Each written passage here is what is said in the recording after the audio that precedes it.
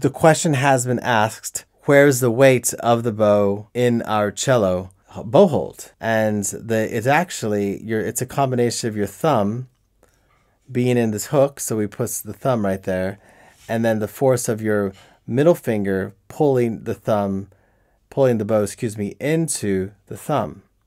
And so the thumb still re remains soft, like this. The thumb remains soft.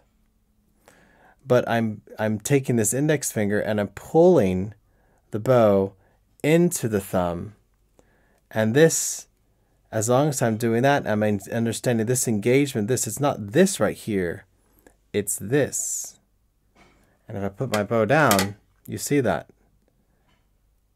I can still do this. I can engage without it. Soft, not soft.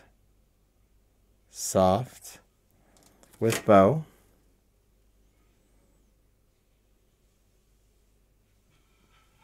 Or traditional hold. There you go.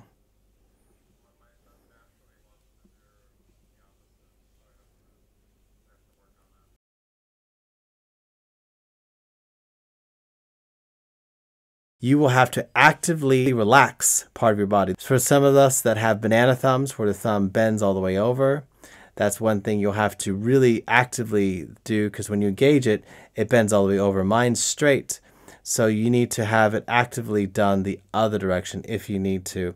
Place it in an angle so it's forcing this muscle here to remain relaxed.